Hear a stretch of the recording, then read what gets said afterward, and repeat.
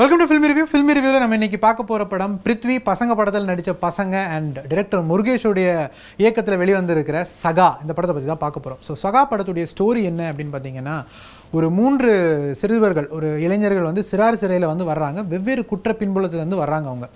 வர்ற அவங்களுக்கு வந்து சிறையிலே வந்து ஒரு காமனான ஒரு வில்லன் வந்து இருக்கான். அவன் வந்து அவங்களோட கொஞ்சம் பெரியவன்.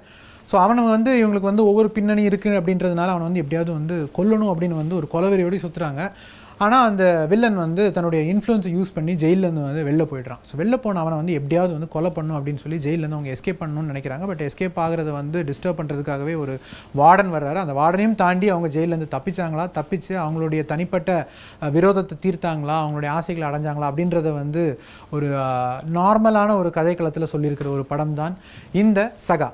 ஸோ சகா படம் அப்படின்னு உடனே வந்து எல்லாருமே வந்து அந்த பார்க்காத நேரத்தில் பார்க்குறதோ அப்படின்ற அந்த ஒரு பாட்டை வந்து எதிர்பார்த்து தான் வந்து போயிருப்பாங்க.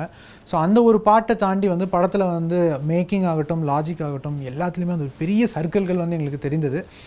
அண்ட் uh, ஒரு படம் அப்படின்னாலே நீங்கள் வந்து அதோடைய கதைக்களம் வந்து ரொம்ப முக்கியம். ஏன்னா இந்த மாதிரியான ஒரு ஸ்டோரி வந்து மகாநதி படத்துக்கு அப்புறம் வந்து uh, ஒரு வெயிட்டான ஒரு படம் நீங்கள் எவ்வளோ தான் நீங்கள் கொடுத்தீங்கனாலும் அதை வந்து அக்செப்ட் பண்ண முடியாது அப்படின்னு தான் சொல்லும். ஆனால் அதையும் தாண்டி ரேணுகுண்டா அப்படின்ற ஒரு படம் வந்து நிறைய பேரால் வந்து அக்செப்ட் பண்ணப்பட்டுச்சு.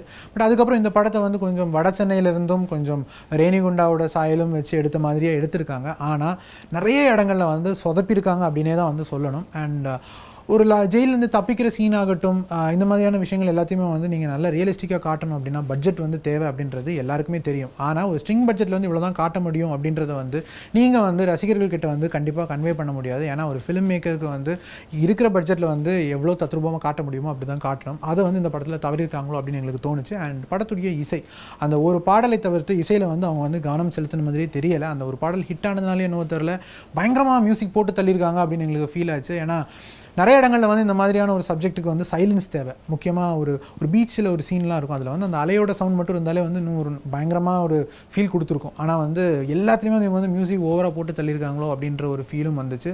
ஸோ படத்துடைய டைரக்டரான முருகேஷ் வந்து இந்த பாடலுக்காகவும் இல்லை இந்த மியூசிக்காகவும் செலுத்தின அந்த ஒரு கவனத்தை வந்து கதைக்களத்திலையும் இன்னும் கொஞ்சம் கவனம் செலுத்தியிருக்கலாம் அப்படின்னு வந்து தோணுச்சு.